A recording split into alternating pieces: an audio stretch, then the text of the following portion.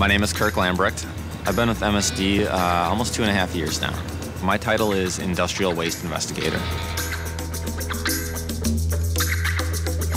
My role specifically, industrial waste investigator, means looking at potential uh, issues with, with stormwater quality and looking to, to respond to those. I kind of like to think of Kirk. He's uh, he came from the Missouri Department of Natural Resources a couple of years ago. There's a new sheriff in town.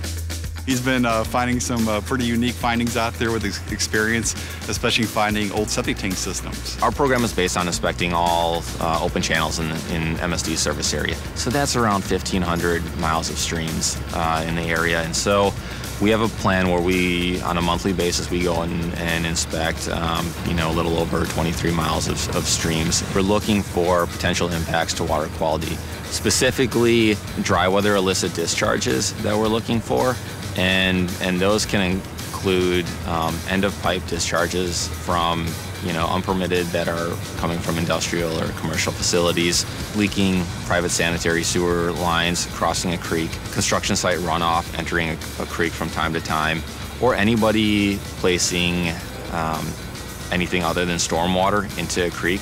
So he has to look at maps, where he's going to go for the day.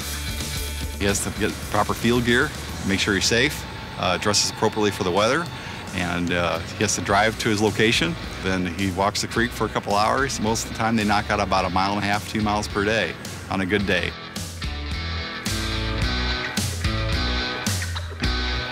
When we come into work, it's a pretty set schedule. We know what we're going to do.